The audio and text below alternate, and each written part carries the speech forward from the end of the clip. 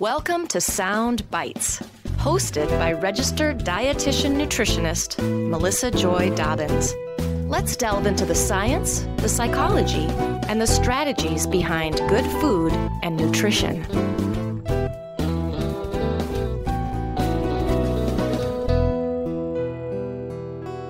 Hello, and welcome to the Sound Bites podcast. Today's episode is about the Mediterranean diet, what you thought you knew, and what you need to know about this very popular diet and lifestyle. My guest today is Pam Fullenweider. Pam is a registered dietitian nutritionist, a culinary nutritionist, and the founder of Fully Mediterranean, where she and her team teach people how to incorporate the Mediterranean diet into their lifestyle. Welcome to the show, Pam. Oh, thank you so much, Melissa. I'm so happy to be here and to visit with you and your listeners about the Mediterranean diet. I'm so excited to dive right in. I want everybody listening to know that this episode is not sponsored. Pam, you have spent the better part of your career focusing on public health and cardiovascular health in particular. Right. And you have a very strong culinary background as well. I would love for you to share with our listeners more about your background, your education, perhaps, how you got interested in this work, and then the work that you do in particular, and also any disclosures to note. Sure. I do not have any disclosures. Okay. As of right now. And so, yes, I love what I do, first of all. And, you know, it's just a natural fit for me. So I've always loved to cook. I have always enjoyed meals with my family and friends. And it's always been a part of my family. My grandmother was from New Orleans, so it just mm. came very mm. naturally. It's kind of what we did growing up. And then I pass it on to my own children then I really got interested in becoming a dietitian twofold because my mom was like the original of a lactation consultant with the Children's Nutrition Research Center in wow. Houston. And they were the first ones doing breast milk research. And so I got to meet Anita Owen, the president of the American Dietetic Association, oh what we used to call it back there. Really great. I was working there in the summer. And then I have a really strong family history of heart disease. And so that was so impactful because I saw what was happening in my family and what the doctors were recommending. We have this amazing Texas Medical Center where some of the founding really heart transplants and heart operation really all founded. So it's been so great to be in Houston. But that's all how it happened. And I just have always loved food and really started becoming more and more interested in it. And so I've been a registered dietitian for over 30 years. And, you know, I've done everything from clinical practice, which I love. Mm-hmm. I have a private practice still. I had a partner. So I've had different partners, um, a corporate consultant. And then I really started, even in the clinical setting, started working with chefs. And that's really what was super fun for me. I got to compete in a national cooking competition and we actually won. That's awesome. Super fun. And then I've worked with restaurants and then really in culinary education is where I've ended up more recently. And so, you know, I've seen a lot of different diets, right? Mm-hmm. As a dietitian practicing this long. And so we were low fat, no fat, and really, like you said, primarily I've always dealt with heart health. Really, that's really always been my focus. And, you know, we were eating eggs, then we're not eating eggs or we're eating them again. And so, you know, I felt like my patients and clients really made progress, but it wasn't sustainable. And, and then 2016, I really had the, it was so happy I had the opportunity to partner with UT Health School of Public Health with their Nourish program. And they're this amazing nutrition hub in the middle of the Texas Medical Center here in Houston. And what they do is they're food first and they're a seed to plate teaching model. They're part of the teaching collaborative kitchens. What they do is they teach culinary medicine to medical students, other health professionals. Hmm. And so I came in and so I ended up being the public portion to their program. What they do is they have this beautiful teaching garden, demonstration kitchen, and then you get to teach while you're cooking and eating mm. and enjoying meals with others. And so that's what we would have people come into the medical center to do. And it's really there that I witnessed firsthand the impact that the Mediterranean diet really had on people. The Mediterranean diet was part of their curriculum, was what they were teaching. Mm-hmm. And so I saw that students, you know, the food tasted great mm-hmm. and was healthy. And, you know, when I asked students what they love about the class, well, I do a survey and it was that the food tasted great. So it really, really helped people understand that good food and good health go together and it's possible. Wonderful. Thank you so much. Well, I'd like to start off by teasing some of the common misconceptions about the Mediterranean diet.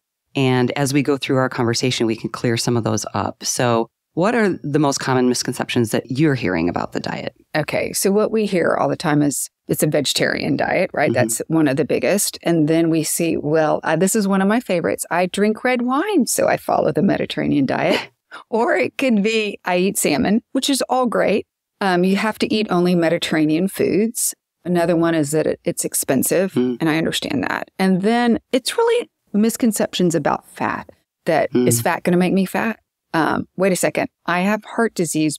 Aren't I supposed to be on fat free or low fat Mm. diet? So those are really the big misconceptions that we have. Okay, great. So let's talk about what exactly is the Mediterranean diet and lifestyle, because I know that's a big part of it, Yes. and what are the associated benefits? Sure. So the Mediterranean diet is this wonderful eating pattern and lifestyle based on countries bordering the Mediterranean Sea.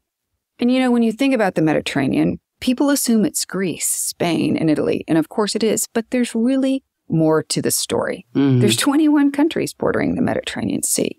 We like to talk about the pillars of the Mediterranean diet. So let's go through those. okay. So there's three. The first one is nutrition. And that's what you want to think about here that it's primarily plant-based foods, but not exclusively. So, you know, you really have to help your clients understand what that means. So, you know, plants are at the center of your plate, but not exclusively. So there's still room for meat, just in smaller amounts. It's really all about quality food components, whole, unprocessed foods. The second pillar is exercise and movement. So we want you to include activities of daily living and exercise. So both of those are important. Exercise and physical activity should be a part of your lifestyle to maintain good health. Mhm. And then finally, the third pillar is really what sets us apart from other eating patterns and lifestyles. We recommend enjoying meals with others. It's all about that social connectivity. You know, that offers so many health benefits. I think this one is so important and really often overlooked. You know, the Mediterranean has this wonderful perspective on eating. It's the emphasis on pleasure of sharing meals with others. Meals are more than just about fuel. It's really about enjoying your food and taking the time to enjoy your meals. You know, it strengthens your social connectivity. And we can talk later about all the different benefits that come along with that. So what we do at Fully Mediterranean is we take this pattern of eating and apply it to any cuisine. My job is that we have to meet people where they are. We help them interpret this pattern into their own kitchen and their lives. And I always say, you know, we have to really think about it as dietitians because changing eating patterns is hard, right? Mhm. So we try to make it as fun as possible. And for me, that fun is in the kitchen. So we have this culinary aspect to our programs because listen, it is stressful. It is painful. Food is personal. And so we really want, again, to meet them where they are and really help them see the pleasure in all of this. Mhm. When we talk about the associated benefits, this is where it's really so amazing because we know that people who follow the Mediterranean diet have a 30% reduction in death from all disease. I mean, you got to take that in a second. It's pretty amazing statistic. And the diet was discovered based on observations that people living in these Mediterranean countries had significantly lower incidences of heart disease and stroke. So we know that following the Mediterranean diet helps prevent heart disease. We know it's involved in the prevention and management of diabetes. It helps reduce your risk of certain cancers, colorectal, breast, stomach, and liver.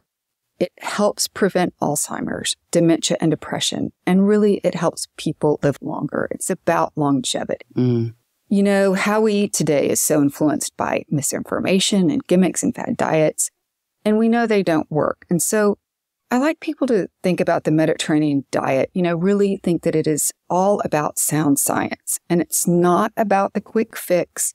It is all about long term sustainability. Excellent. Thank you. Mhm. Several things that you mentioned I wanted to touch on. Um, I love that it's exercise and movement Yes. because, like you said, those daily activities. Yeah. Activities of daily living. Yes, the ADL, you know, things like vacuuming and Yeah. you know, I don't know, uh, gardening. Yes, gardening, moving around. I mean, what you do is so important. And I think sometimes we forget we're not moving.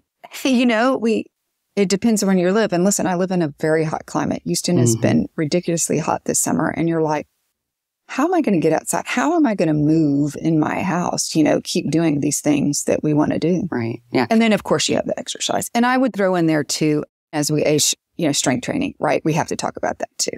Yeah, absolutely. But I love that because people, you know, we hear exercise all the time. And I do think Mhm. we forget about these activities of daily living Yes. that, that really does help increase your movement. Yeah.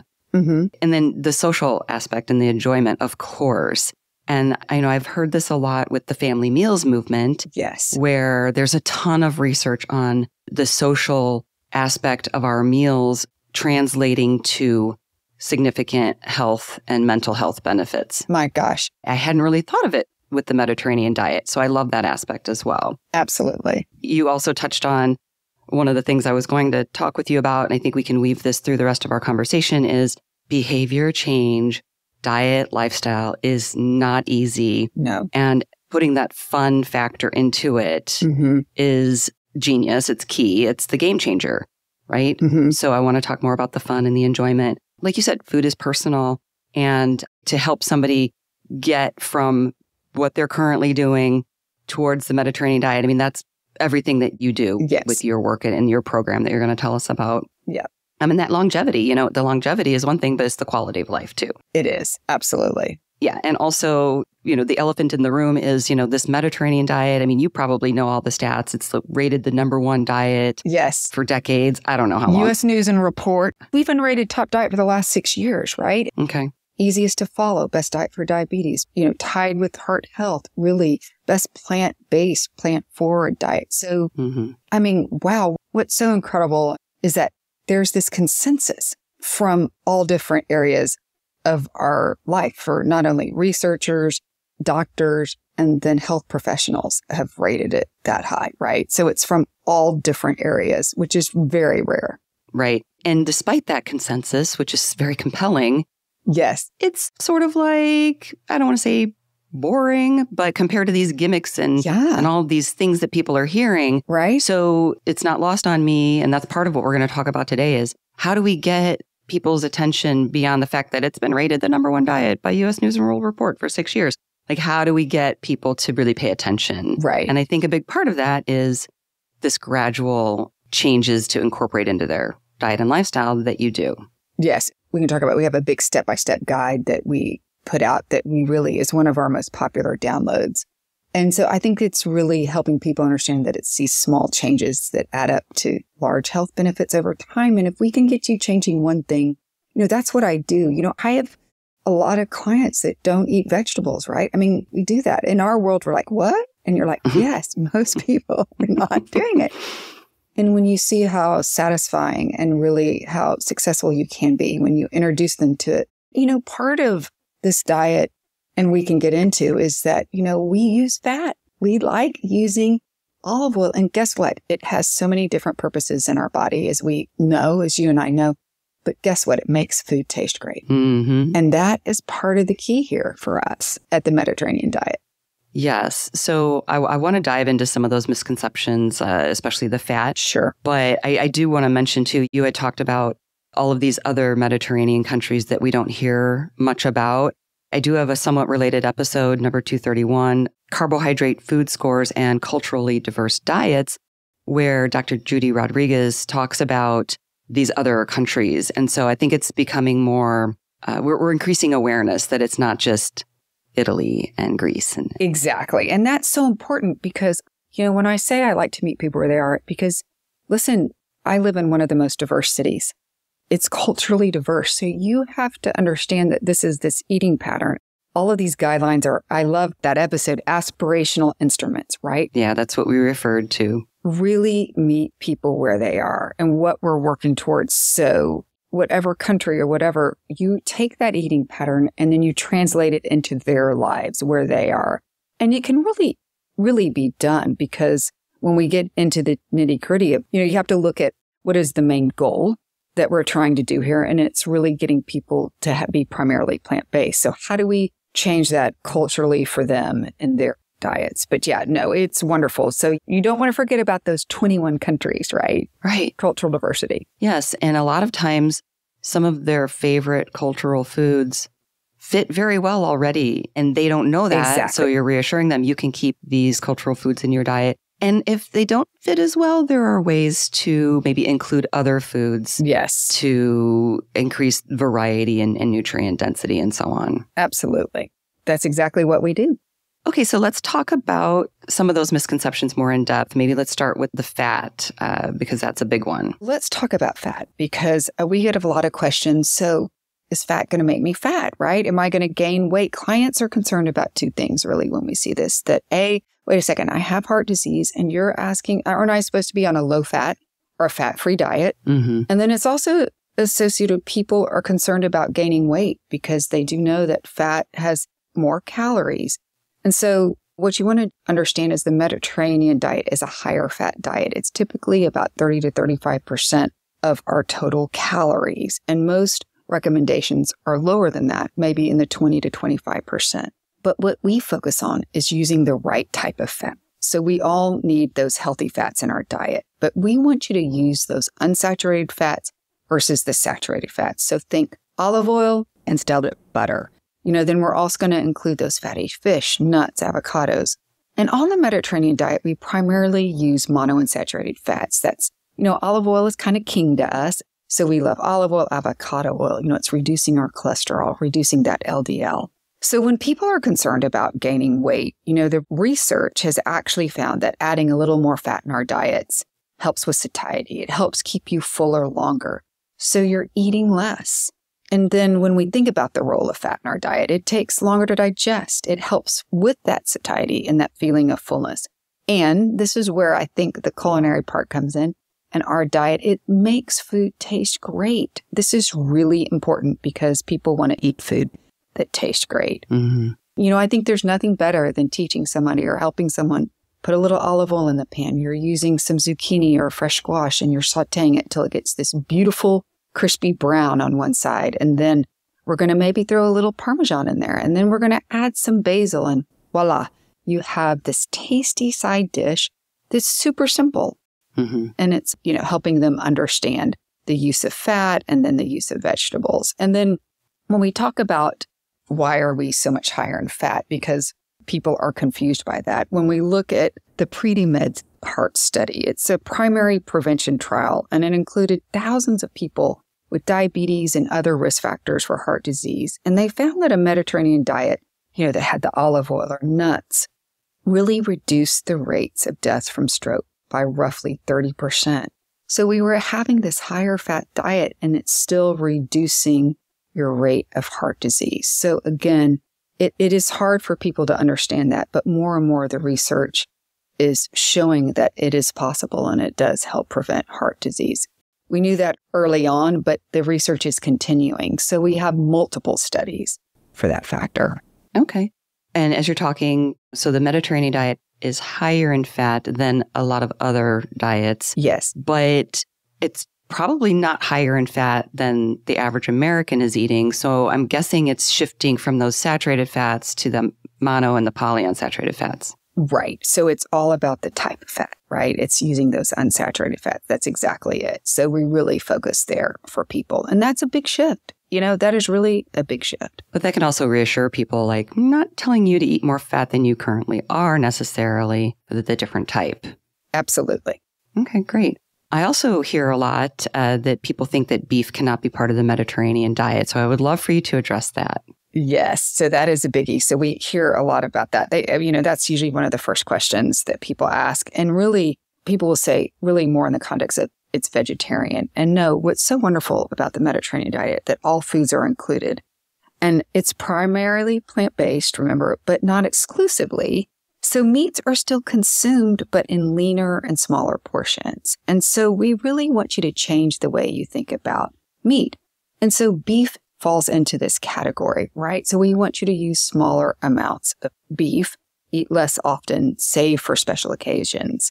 This is the biggest difference between the American diet and the Mediterranean diet, that plants are at the center of our plate, right? Mm-hmm. But again, uh, you know, I grew up in Texas. Here I am. I love red meat. I was a family. We bought it by the half cow, right? We bought our beef. And so, you know, there is still room for beef in your diet, just using it and just changing the way you think about it and using it in smaller amounts. Okay. What other misconceptions uh, should we dig into? I think one that's really important right now is that it's expensive. And I understand that. You know, we're all very concerned about our grocery bills. Lunchflation is real. We did a whole topic on this. You know, it is hard for people, you know, if you want to eat healthy, it can feel expensive, especially when we're asking you to maybe have fatty fish and seafood. Those things appear to be expensive. And so what we typically recommend doing is we always, so we are all about seasonal foods. So purchasing fresh fruits and vegetables in season, it's always the best, most economical way to go. But what that means is you have to know what's in season, right? Mm-hmm. What are the seasonal fruits and vegetables? And we post that all the time on all of our social channels. Then we always recommend keeping frozen or canned fruits and vegetables because now we know they're picked right out of the fields at the peak of ripeness. They're flash frozen or canned. So also we recommend using frozen or canned fish and seafood. Mm-hmm. Those are great choices. Always have frozen fish or canned tuna or canned salmon in my pantry. Mm-hmm. And then going back to canned foods, we know one of our favorite canned foods are canned beans. Yay. Yes, we love them. I mean, they're so economical. You can buy low sodium varieties. And you know, it's a great way to add that plant based protein and fiber and use less meat. We have a whole blog post on this on our uh, website that you can check out for additional tips. Okay, great. I think there's one other misconception though that I want to clear up. And I think it's such an important one because I think people don't realize, and it's the really the whole idea of I drink red wine, so Mm. I follow the Mediterranean diet. I think that is so important because what we know from the research is you have to incorporate all the components of this eating pattern to reap the health benefits. You can't just cherry pick what you'd like to do. You can't just drink the red wine or eat the salmon. Mm-hmm. You have to exercise. You have the physical activity and the mindfulness. So it's all of those pillars working together. And I think just like we were talking about it, so many people want the magic bullet or one thing that they know that's going to work. And really, once again, it's all these wonderful components working together that help prevent disease. Mm-hmm. I think that is a big point. Yeah. And if somebody is eating salmon and drinking red wine, hey, they can check those two off. They're currently doing that. We're meeting them where they are. Yes, What's the next thing to add and, and so on. exactly. So what's the next small thing? Mhm. And then I think the other misconception that really comes up a lot is I don't like Mediterranean food. So I really don't think I'm going to try this. Hmm. And I think people don't realize is that you do not have to eat just Mediterranean foods, Greek food, whatever food. All cuisines can fit into this pattern of just not the Greek foods. Remember, there's over 20 countries. And again, we meet you where you are. So we want to help you with this eating pattern. And so what we like to do at Fully Mediterranean is we have a little technique we say we like to make it Mediterranean. So we're taking traditional recipes and giving them this wonderful Mediterranean twist to amp up their health benefits, make them more nutrient rich. So we always try and focus with our clients. What do I need to add to my diet? I think that's incredibly important. Right. And it can be as simple as adding fruits or vegetables to each meal Mm-hmm. um, veggies to your greens, greens to your pasta. We love to show a graphic where you have a cheeseburger so we know it's high in saturated fats, low in fiber, and low in veggies. And then we're going to put a little arrow and we're going to say, let's make a nourish blended burger. So then we've taken some lean red meat, but we're going to add some legumes, maybe some black beans to it, some veggies. And then we're going to serve it with a side salad so that really you're getting more of that fiber and those antioxidants and all those good things that we need. Another thing that we really work on with clients, and part of this is making more of your meals meatless, right? And I think this is hard for people to do as well, especially if you're used to eating a lot of protein in your diet, meat and stuff. And so we like to make your favorite meals meatless. And being from Houston and Texas, we eat a lot of Mexican food, right? Mm-hmm. So maybe it's just changing out the beef for black beans, or maybe in your enchilada, it's trying spinach, things like that. Or even just other simple ideas include like, you know, whether you're for stir fry using tofu or edamame, you know, really getting people used to trying some different things. So you don't have to just have Mediterranean foods. Yeah. So, I mean, obviously, you don't want to necessarily decrease your protein intake overall. It's sort of like the fat conversation we had. You want to swap out for some other sources of protein because you, you definitely don't want to be too low in protein. No, and we want to use those plant based proteins. Mm-hmm. That's what we love to do. Great.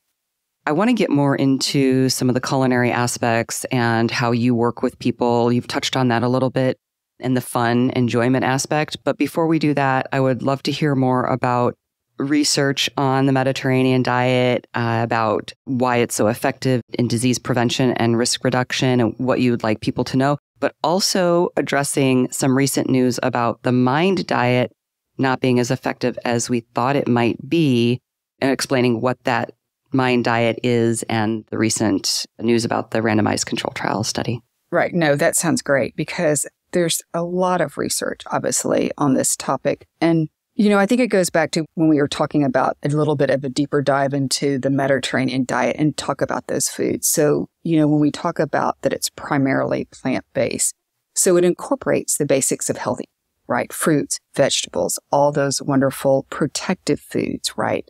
Whole grains, legumes. These are protecting us from inflammation with the vitamins and minerals and antioxidants. Again, it's all about quality food components. Um, we talked already about that it's the biggest difference between the American diet and the Mediterranean diet, that these plant foods are at the core of your plate, the center of your plate.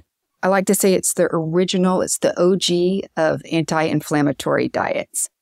And all foods are included. It's not restricted. So we want to pay attention to what you're choosing and the amount. So when we think about it being an anti inflammatory diet, it's this eating pattern that promotes fighting inflammation in our bodies. And we know that it's the chronic inflammation that occurs slowly over time in response to this long term exposure to stress. So that's poor diet, which is, you know, the refined processed foods, too much sugar, an excess of refined carbohydrates, excessive alcohol, unhealthy fats, all those things.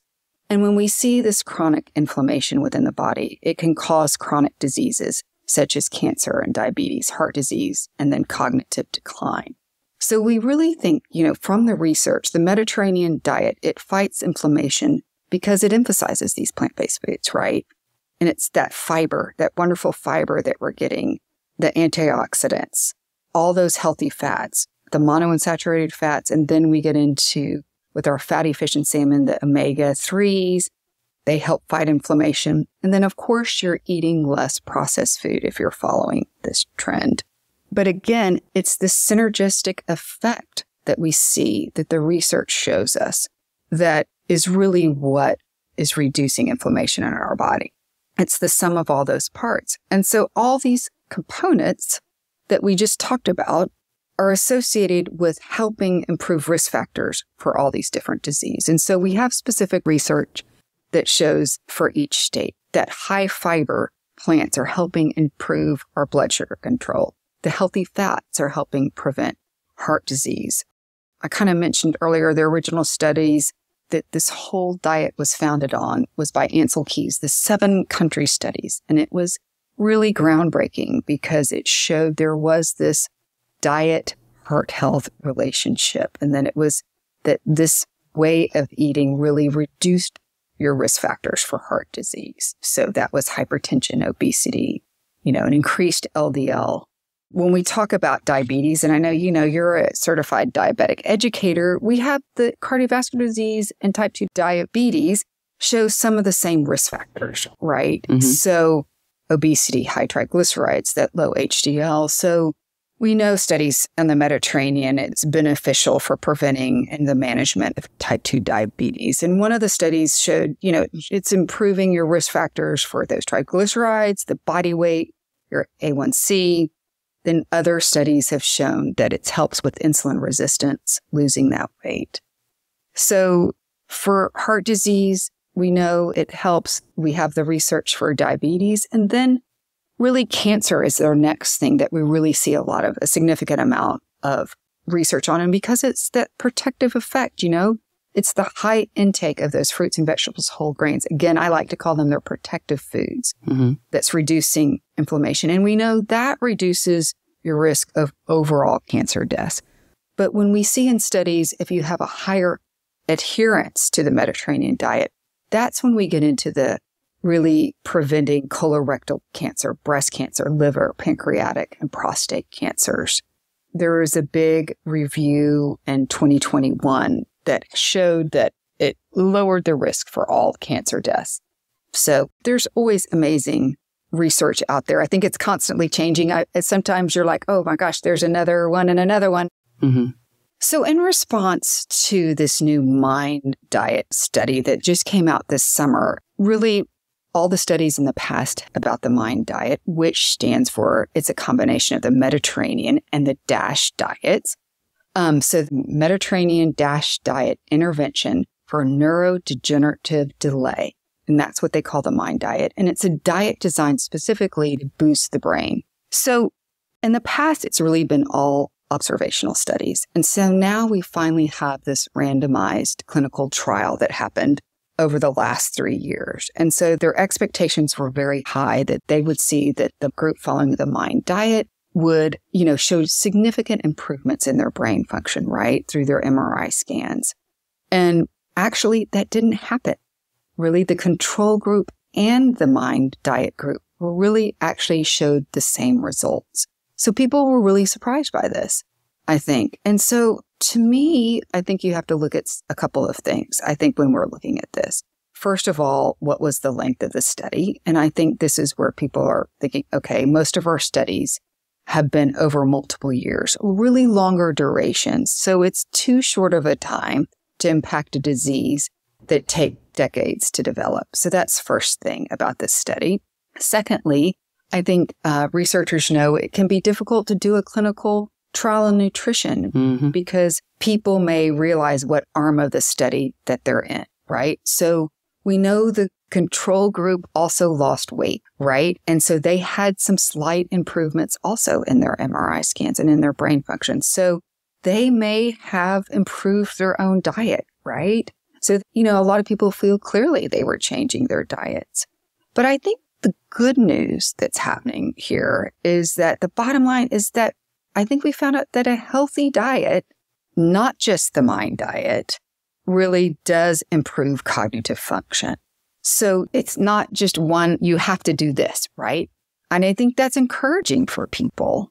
And then also, you have to remember, I think, part of our world that solid science is not based on one single study. Mm-hmm. So we have to take it all into comparison. But again, you know, I think it's super interesting, but I don't think it's like, oh, we're going to throw out the mind diet. I think we just, A, it calls for further research. But wow, that is good news, though. Both groups improved their cognitive function and they did lose weight over those three years. So all good things. Okay. Thank you for that. I appreciate your recap on that. So I had said earlier, I would love to hear more about how you bring the culinary aspect into your education and your programs and why that's so important, the fun factor, I'm guessing, and, and maybe even sharing some client success stories. So, yay, this is the fun part for me. I love it. So, I'm definitely a practitioner. You know, this is what I do day in and day out. And so, you may not think cooking and fun go together, but by the time we're through with you, we're going to make it a pleasurable experience in the kitchen. Excellent. And, you know, our whole goal is to get people back to eating at the table and remembering that this is difficult for people, that this is a hard journey. You know, food is personal. You had these habits for a long time. So we're going to help you change them. But by goodness, we're going to have fun doing it. So health starts in the kitchen. There's so many wonderful benefits to teaching people to cook. We know from the research when you cook at home, you eat healthier. It helps with when you're cooking, you get to choose your own ingredients. You can choose more variety. So this helps ultimately in that disease prevention that we're talking about. And then also one of our goals is to get people back to eating at the table. There's so many benefits surrounding eating at the table. When we talk about it, we know from the research, sharing meals together, it encourages better relationships. There's less stress. We know we just talked about you make healthier choices when you're eating at the table together. You live longer. If you have children at home, family meals are even more important because research shows that family meals can reduce depression, promote healthy eating, and improve self esteem. So, super important. So, we incorporate this into our curriculum in all different ways. So, I do private cooking with people. I do reels. We do recipe demos and videos. So, the whole goal is to make people feel comfortable in the kitchen so that they can accomplish their goals of eating healthier. And, you know, I think one of the most important things we show them is that it doesn't have to be complicated to taste good or to be healthy. Amen. Listen, I get people don't have time to cook and they don't necessarily always like to cook. Mm-hmm. And that's super important to help them with it. Mm-hmm. One of my favorite, when we talk about success stories, I have two and they're kind of totally opposite. But one of them is about we call him the West Texas carnivore because he was a guy from West Texas that had a very strong history of heart disease.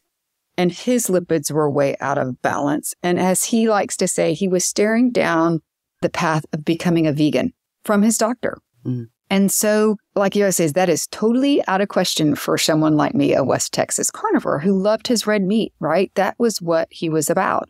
And so I worked with him for nine months. And he did not need to lose weight, but he showed incredible sleep improvements, dramatically enhanced all of his scores. And his doctor said it was the single fastest improvement he has ever seen. He was like the perfect student, right? He Mhm. really was so conscientious about it because he had such a significant history in his family. And I think the other thing that really struck me was his own words was he really is enjoying his new relationship with fish, which he really didn't enjoy, Mm. fruits and vegetables, along with less red meat. So Mm-hmm. he really did. But, you know, it took nine months, right? You know, it takes a while to get there. So that is such a great story because I think it really shows you that even though you, you've enjoyed meat your whole life and you still can enjoy it, step by step, we can help you translate this pattern into your own eating and into your own kitchen and your own lives. That's excellent.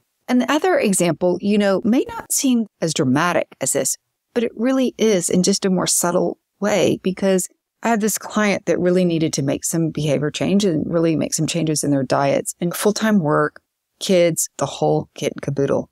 Really difficult, right? And she didn't like to cook. And I think it was so rewarding for me to see at the end of the day, you know, she really dreaded it, right? Coming home and answering that question. It was really hard. And I think at the end of our program, she was like, I look forward to it now. I come Mm. home, I turn on my music, I relax, Mm. and then I cook and I know what I'm doing and I can nurture my family. I can, Wow. and that's what it's about, right? And then I love, she would always send me pictures of what she was cooking. Hmm. You know, that's the ultimate compliment to me is Mhm. when my clients and people that know and love me send me pictures of their food and I'm thinking about you. And That's cute. so I love that, you know, and that's what it was for her. It was really so amazing to see that change and her feel so good about it. Yeah. Quality of life. Yeah, I love that. totally. I've shared this a little bit on the podcast before, but I've evolved my own kitchen confidence uh, Mhm. over the past eight years or so that I've been doing the podcast. And in particular, my Do More with Dinner initiative. hmm I didn't dread cooking, but hmm I was busy. I just wanted something quick and easy. And Right. now I, I am at that point where I look forward to it. And it's almost like I'm done working, I'm going to the kitchen and I'm having fun. So I, I think that's really, really great. Yes, I love that. I've enjoyed that. And so has my family. They've benefited from it. That's it. That is, yes, we love that. So I know that you have this program that is step by step, but if you could just share a few simple steps that people could take to kind of get started Right. on this Mediterranean diet slash lifestyle journey Yeah. and what that might look like. Okay. So we have the guide. Please go download it. It's free on our website. But I think there's three things that you can really do. And I think the first thing you should do is choose olive oil, right? Just start cooking with olive oil, really changing that, looking at what type of fats you're using at home. You know, if you're buying salad dressing, what oil are they using? Looking at your labels and seeing what type of fat is in those products. I think that's key. So choose olive oil. Secondly, I'd say check your plate. You can do it at any time, wherever you are, whatever you're doing. What does your plate look like? So if we want those plant based foods to be at the center of your plate, are they? So that's fruits. That's really those vegetables, those whole grains and beans. What is crowding your plate? And so that's what we want. And listen, I want half of it to be vegetables, mm-hmm. really and truly, those dark green leafies. Eat the rainbow. I think this is something um, is so important. So check your plate. And again, I love that because it's whether it's a bowl in the morning, whether it's lunch or dinner, anyone, anywhere can do that. Mm-hmm. And then thirdly, change the way you think about meat. Really start looking at how much meat am I really eating? Chicken, turkey, red meat. What does that look like? You know, obviously we'd like you to incorporate more efficiency food in your diet at least twice a week. And I say at least, but again, so maybe using meat as a garnish, using it just in those stir fries, using it for flavoring. That's such a wonderful way to start. So changing the way you think about meat and incorporating those meatless meals. That's really, really thinking about, can I make my favorite foods meatless? Can I do that? Of course you can. I mean, tacos are the simple way to start, you know, lasagna, right? I mean, so some of those things. Okay. Thank you. And as we're wrapping up, I know, you know we've got a lot of resources that we're going to touch on. You know, we've got these simple steps to kind of get started, but what would you say the bottom line takeaway is for our listeners? Okay, so the first thing would be that the Mediterranean diet is a lifestyle. So it includes nutrition, movement, and enjoying meals with others. So focus on the foods that you need to incorporate into your diet. Remember those primarily that plant-based foods, but not exclusively. And I think for healthcare practitioners, and I really think for dietitians, this is what most clients need help on. Really identifying, well, what does that really mean? Mm-hmm. What does that look like for me on my plate at home? And so I think that's one of the most important things that you can work on. Um, secondly, remember to reap the health benefits of the Mediterranean diet lifestyle. You have to incorporate all the components. You can't just cherry pick what you like. Yes, it's wonderful. You might be eating salmon and some of those things, but keep going. Keep checking off your list. Keep working on it because it's that synergistic effect that really prevents disease in our body. And then finally, I think it's so important to understand is that with the Mediterranean diet, you can enjoy food and prevent disease. Good food and good health go together. All right. Thank you. So, where can people find more about this topic and connect with you? Websites, social media handles, anything specific uh, in the way of resources that you'd like to share? Sure. You can find us all over the place. You can find us at Instagram at, at Fully Mediterranean, on Facebook at Fully Mediterranean, our website. We have, like I was saying on the website, it's a pop up. Our step by step guide is always available. And then we've just introduced this wonderful well, it was not introduced. It's been going for two years. We have a Mediterranean diet course. So just think, just like Netflix, so that people can join. We also offer it not only privately to people, but we work with uh, physicians and corporate clients to offer it as well. Okay, great. And I'll have all those links, of course, in my show notes at soundbitesrd.com. Yes. And I also wanted to give a shout out to our colleagues who have some Mediterranean cookbooks out there uh, Serena Ball and Deanna Segrave Daly, two friends of mine. Right. They authored the 30 minute Mediterranean diet cookbook and also the sustainable Mediterranean diet cookbook. And they have a new one coming out called the Smart Mediterranean diet cookbook, which is really uh, focused on the, you know, what's good for the heart is good for the brain. So it's really focused on brain health and the research there. So Stay tuned for more information on that on the podcast, but I will put links to those books in the show notes as well. And I'm sure you can find those on Amazon as well. Wonderful. Yeah, they are great. They have great cookbooks. Yeah. Make it tasty. You got to make it tasty. They do. That's the key. That's right. It's delicious. Yes. Are you working on anything else right now that you'd like to share with us? Um, really, just our course. So it's our course that we're really working on that we've been doing, like I said, for the past two years. And so I think it's really exciting because, you know, people are busy. And so it's really based on my private practice. And so you just sign up and it's like I said, Netflix, you just download it and you start watching. And then we have office hours that you can hop into with me and one of our team of dietitians. And then we have group cooking classes. And so it's really fun. And it's a great way for people that are super busy to um, really learn all about the Mediterranean diet. Excellent. Yeah. Thank you so much for coming on the show and talking all things Mediterranean diet lifestyle. Well, thank you for having me. It's always a pleasure. I could always keep going and going. There's just so much um, you can talk about. So thank you for having me. Well, thank you for the work that you do. And for everybody listening, as always, enjoy your food with health in mind. Till next time. For more information, visit soundbitesrd.com. This podcast does not provide medical advice. It is for informational purposes only. Please see a registered dietitian for individualized advice. Music by Dave Burke, produced by Jag and Detroit Podcasts. Copyright Soundbites Inc., all rights reserved.